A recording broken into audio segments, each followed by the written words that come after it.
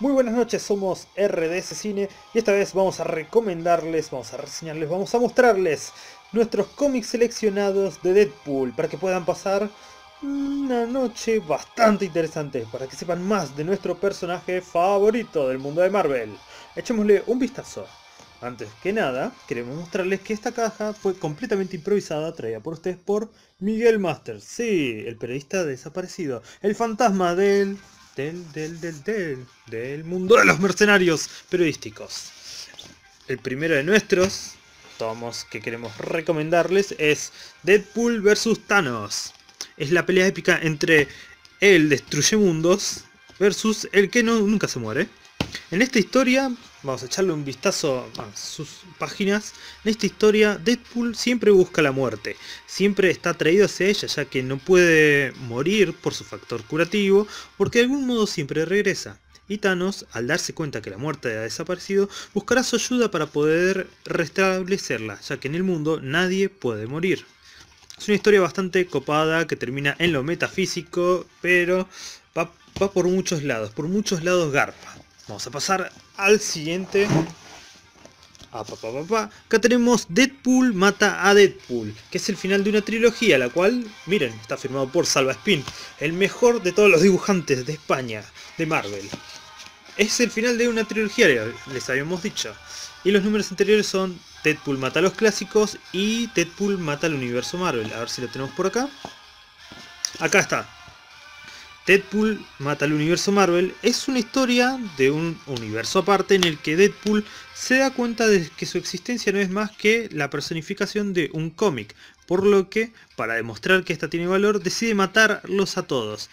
Y de ahí va a terminar escapando hacia otros universos. Es bastante sangrienta, es para mayores de 18 años, como dice en la tapa, y tiene un estilo de dibujo bastante copado, ya que no es el mismo Deadpool que nosotros conocemos, es una versión mucho más más funcional, más rústica, como verán. Espadas normales, pistolas normales. Una contratapa fuera de lo normal, pero sí.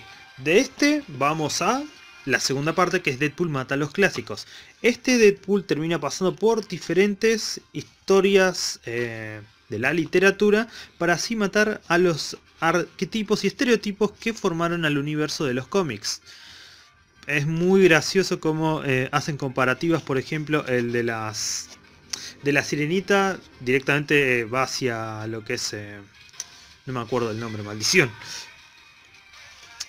Ah, pero sí, hay muchos clásicos literarios como Frankenstein, como Moby Dick, tiene habla también de Sherlock Holmes. A ver qué más. Don Quijote aparece. Vamos a ver un poco más. Ah, Mujercitas como eh, la forma que tiene cada uno de los protagonistas de estas, de estas obras literarias eh, terminan derivando en los personajes de los cómics. El jinete sin cabeza acá lo compara con el duende verde, por ejemplo. Digamos, si hablamos del mejor detective del mundo, podríamos compararlo con Batman, pero ese es el universo de DC. A ver qué más tenemos. Vamos a otro tomo, porque Deadpool logra su cometido y ahí vamos al tercer volumen que queríamos mostrarles desde un principio. Nuestro Deadpool, el del universo, creo que era el 1606, el, el principal de Marvel, se enfrenta a este Deadpool de las anteriores historias, junto con sus Deadpool Corps. Entonces hay una pelea entre diferentes tipos de Deadpool eh, contra los Deadpool que quieren destruirlo todos, liderados por este Deadpool de la saga completa. Ahí tenemos a uno de los... no me acuerdo el nombre de estos enanos espaciales.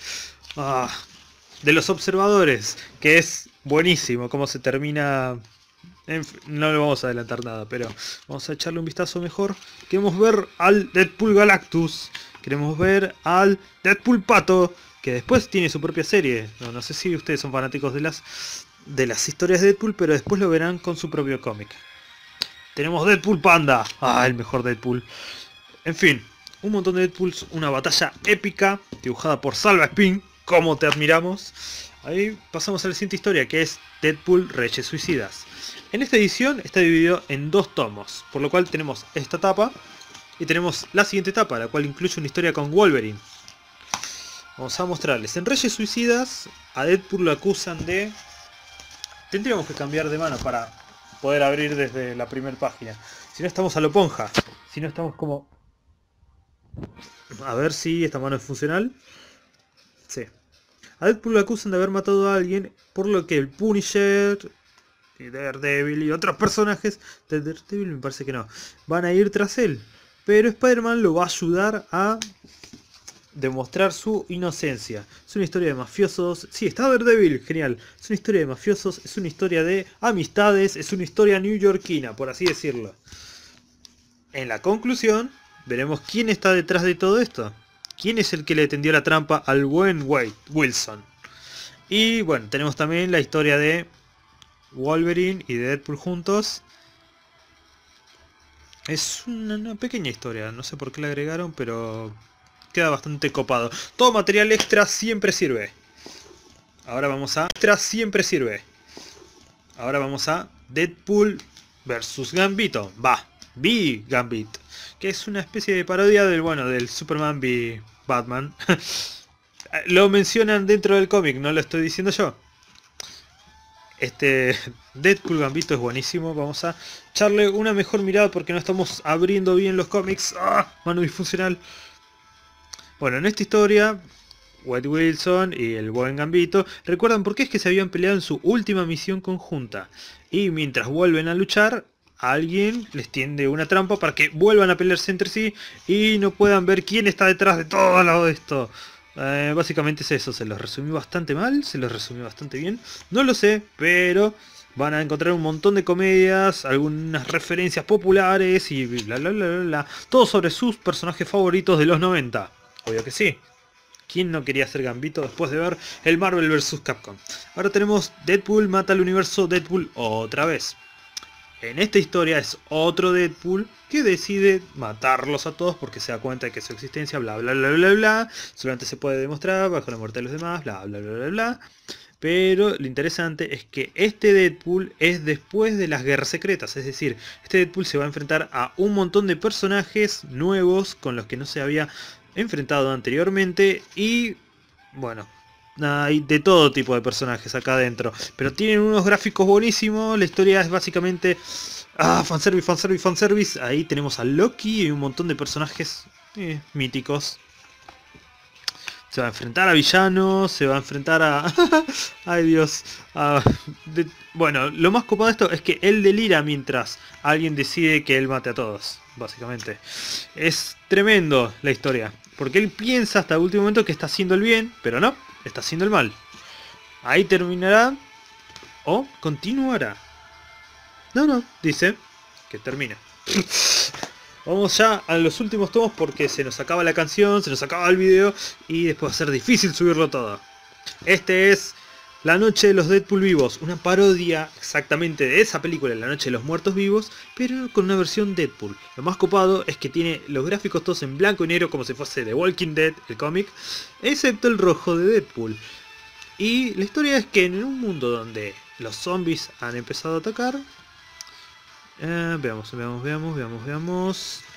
No, me parece que estaba por reseñarles cualquier otra cosa. Creo que en esta historia no es que habían zombies, sino que habían Deadpools, ¿sí? Parece que habían Deadpools que son zombies o zombies que son Deadpool. Eh, hay que revisarlo un poco más, pero sí. Si no, lo que pasa es que hay una cosa... No tengo bien presente cuál es la historia 1 y cuál es la... Ah, sí, es esta. Hay muchos zombies, Deadpool tiene que rescatar a una chica, tiene que... Eh, evitar que todos mueran y se comen a Deadpool. Se acaba la infección y ahí vamos al siguiente, la secuela. El regreso de los Deadpool vivos. La cosa es que los zombies mutan y se transforman todos en Deadpool. Deadpools que quieren matarlos a todos, excepto el renacido Deadpool original de esta historia que eh, va a ayudar a una chica a combatirlos. A ver qué más hay. Tienen unos dibujos buenísimos. El contraste del rojo y el negro es mortal.